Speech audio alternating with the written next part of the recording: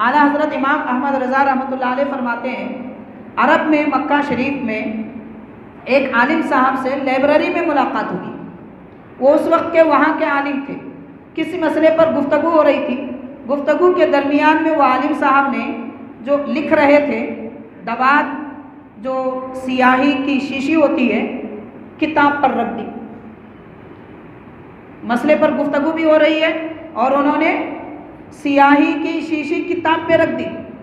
आला हज़रत रहमत वो हटाकर बाजू टेबल पे रख देते हैं। वो बात करते हैं, फिर किताब पे रखते हैं। चूँकि उनको करीब चाहिए था लिखने के लिए, फिर आला हज़रत उठा के नीचे रखते हैं।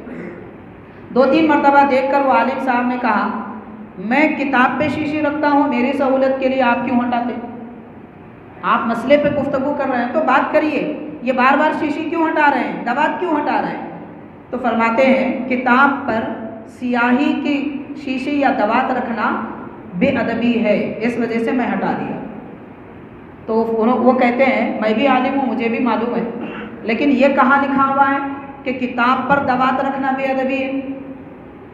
तो आला हज़रत फ़ौरन फिर की एक इबारत हवाला किताब के नाम के साथ पढ़ते हैं और फरमाते हैं, फला किताब में। तो अदब ऐसा होता है कि किताब पर लिखी जाने वाली सियाही भी रखना बेअदबी है।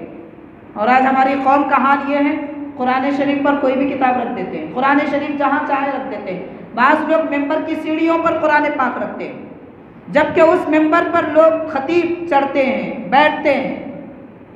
ये बेअदबी है, ऐसा अमल नहीं करना चाहिए। अगर